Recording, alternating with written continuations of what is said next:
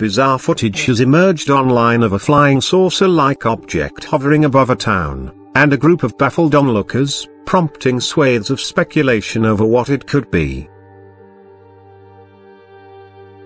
Stunned eyewitnesses in Progreso de Madero, in southern Mexico, filmed what appears to be a huge black ring surrounded by smoke in the sky.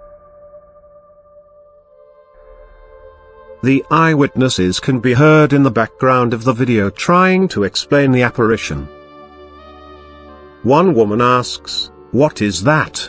And a man replies, a flying saucer? Another woman speculates, it's a rain formation, but the man counters, no, it's not, it's a black wheel, and the woman notes, it's going up.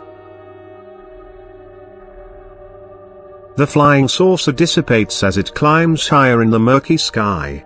The video has attracted mounds of speculation online with some adamant the spinning ring was an alien spaceship, although there has been no explanation for the floating object as yet. One of the eyewitness, named Netizen Alejandro Lopez, Robles was convinced he had seen something otherworldly, commenting, it's a flying saucer. Another eyewitness, Xavier Burns, felt there was a more natural explanation, adding, I have never seen a whirlwind before. Impressive.